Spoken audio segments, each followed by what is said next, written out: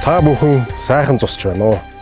Дэлгэр зууны энэ цагт Монгол төмний их баяр цэнгэл наадам Монгол ёс өв соёлоо дээдлэн хүн бүр сэтгэлийн их эрч хүчээр бэлхдэг баярт мөч юм аа.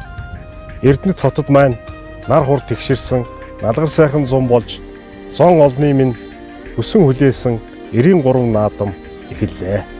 Бүхэн хүчтэй морин хурдан харамсан сум нь мэрэгэн байх болтугай. Та бүхэн сайхан наадаараа.